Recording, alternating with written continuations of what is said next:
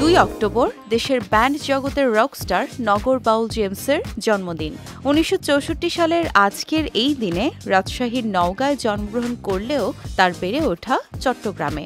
জীবনের উনষাট বসন্ত পেরিয়ে ষাট বছরে পা দিলেন এই গায়ক। তার পুরো নাম ফারুক মাহফুজ আনাম হলেও ভক্তদের কাছে নগর বাউল জেমস নামেই তিনি পরিচিত। কিংবদন্তি এই রকস্টার শুধুই জেমস নামে নন ভক্তদের কাছে তিনি আবার শুধুই গুরু।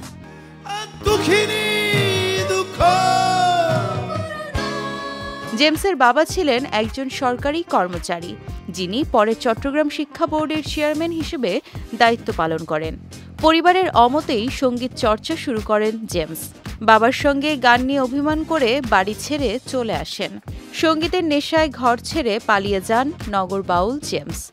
এরপর চট্টগ্রামের আজিজ বোর্ডিং নামক একটি বোর্ডিংয়ে তিনি থাকতে শুরু করেন। সেখান থেকেই তার সঙ্গীতের ক্যারিয়ার শুরু হয়।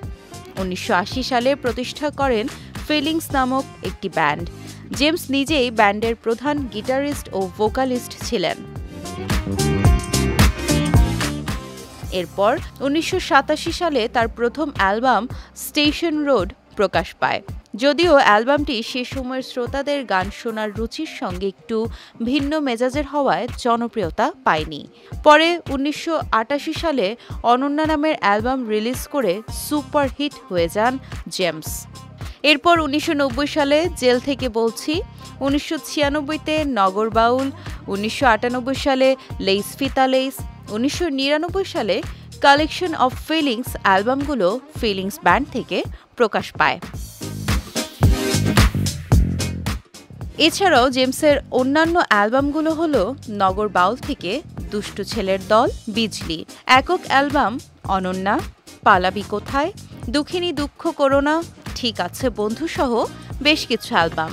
জেমস চলচ্চিত্রে প্লেব্যাক করেও দারুণ সফলতা পেয়েছেন। তার বেশ কিছু গান চলচ্চিত্রে সুপারহিট হয়েছে।